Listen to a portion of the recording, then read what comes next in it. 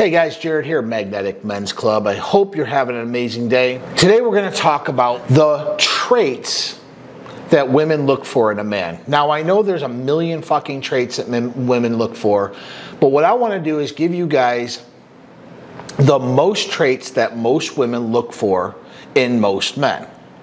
And to do that, we're going to dissect romance novels there's no accident that romance novels basically follow the same script. There's a hero, there's a man. This man is typically rich. This man displays a dark triad where he is mysterious.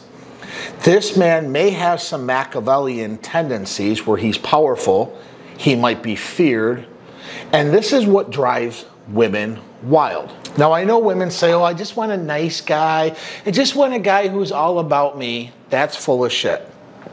This is what women think they want.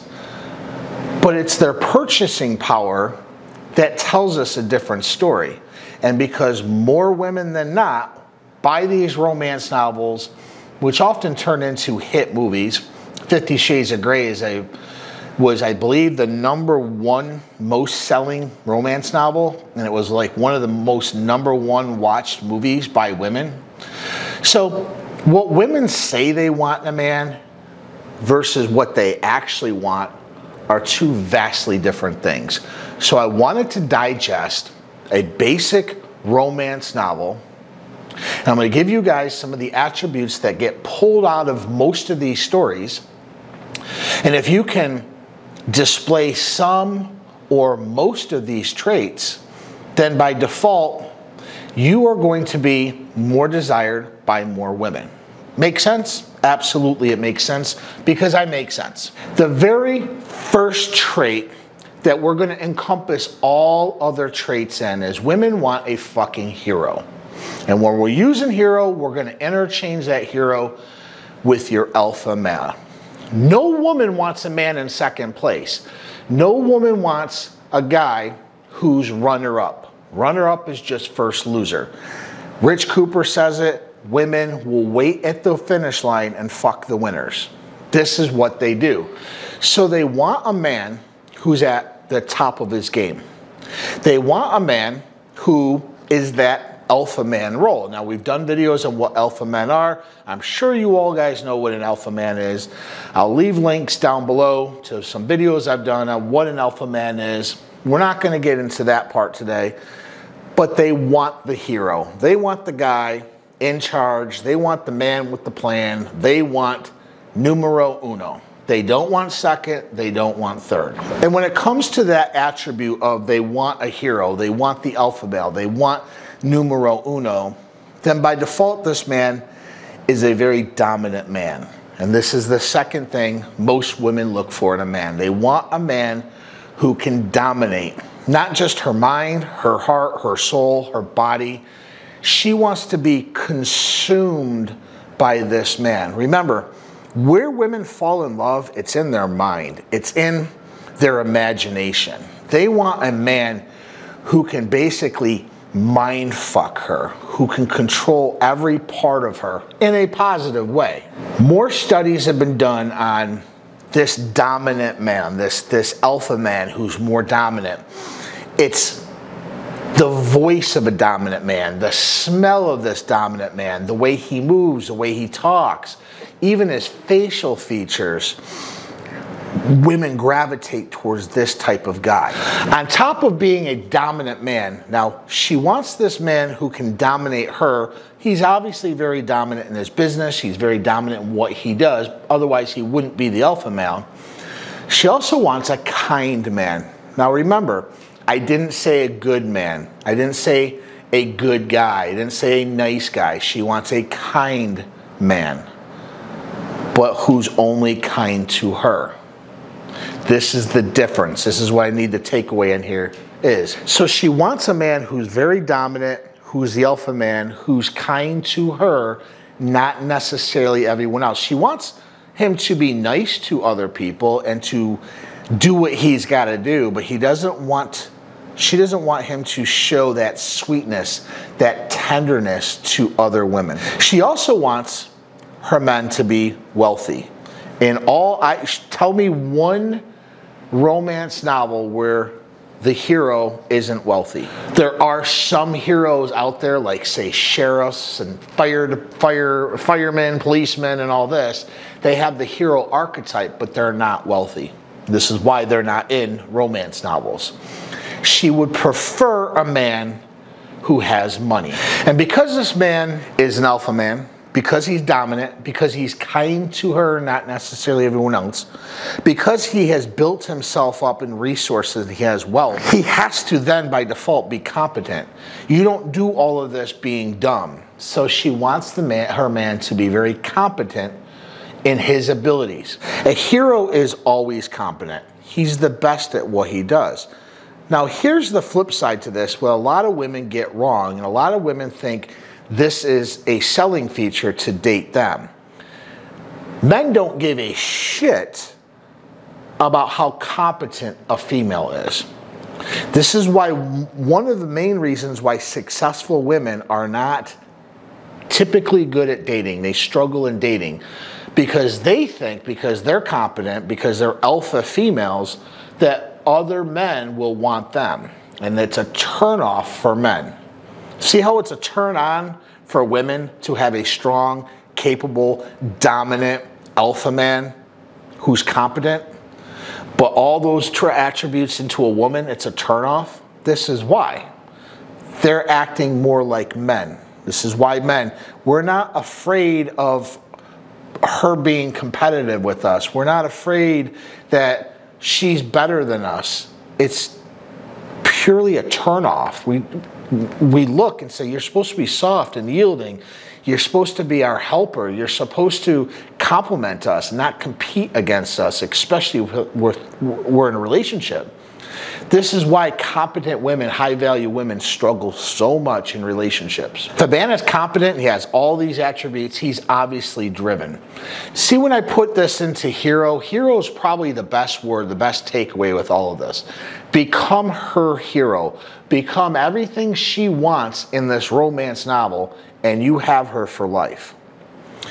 Because he's driven, and he's competent, and he's an alpha man, and he's kind to her, and he's not kind to everybody else, and he has money, he would have to also then be intelligent. No dummy can create all this. Again, hero. Just put hero at the top. Think about these romance novels. Think, think about these superheroes that are very. Tony Stark would be a, a good example where he has all this money, has women after him all the time. This is what women are looking for. She also wants a man, look at guys, attractiveness is very important. Now, attractiveness is subjective. So when I say she wants a man who's attractive, I'm then going to put in to her. However, there are lots of attributes more women find attractive than not. And so your goal is to become the most attractive you can given the qualities you have. If you're very small and emaciated, get to the gym, put some muscle on. If you're a fat fuck, lose some weight. Both of these, you can become more attractive in your body. Maybe you can start dressing better. Maybe you can start grooming better. Maybe you can change your hairstyle. If you're balding, maybe you can shave it off. There's things you can do to bring up your overall attractiveness. Name me one superhero and name me one romance novel rich guy who's overweight with bad teeth, who dresses like a bum, who's poor. Doesn't happen. These are why the guy, this is why they create the same type of man because women are looking for this exact type of man. So she you need to be attractive, and you can definitely work on your attractiveness. She also wants a man who's popular, and we call this pre selective. Have you ever been in a relationship with a woman, and all of a sudden other women are starting to come onto you, or other women are starting to notice you? It's because you've been marked by your woman as being pre-selective and women can pick up on that that there's another woman that wants you Ergo, all these other women have FOMO, fear of missing out. They want to know what you're all about because you got the stamp of approval from one other female. Likewise, have you ever been in a, in a dry spell when you really just couldn't get a date, girls wouldn't really look at you because you weren't pre-selected.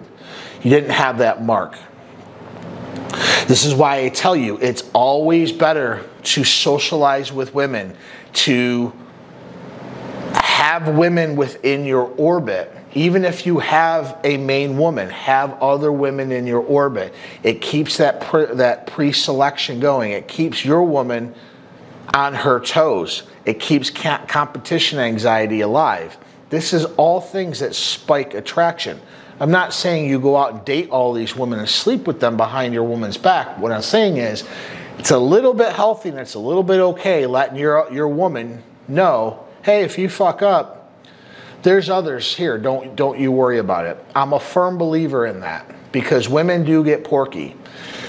So you need to have and keep your options within your realm of orbit. And finally, if you're the hero archetyped and you're attractive and you have money and you're kind, but not necessarily kind to her, and you're competent and you're intelligent, and all these other things, she also wants you to be emotionally available to her. In most of these Hallmark shows and most of these romance novels, it always ends with happily ever after.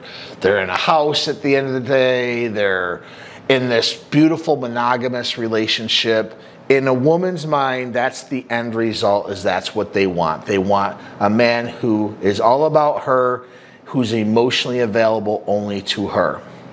She wants other women to want her, her man. That's she wants to see that because that creates that competition anxiety. That creates that fear of missing out. That creates that okay other women want him I must not be crazy. So, in short, guys, all of these attributes can fall into one word hero. She wants to have, she wants you to be that hero type. She wants you to be her hero. And if you can be her hero, if you can have more of these attributes than not, then you will have your choice with women. And maybe the woman that you have in your life right now, you can resparkle, respark that romance. You can get that fire and passion back because you prove to her that you are her hero. My name is Jared Schoonmaker. This is the Magnetic Men's Club. If you found this video helpful, please hit like, hit subscribe, hit that bell icon, and leave me a comment. With that, have a great day, and we'll talk soon.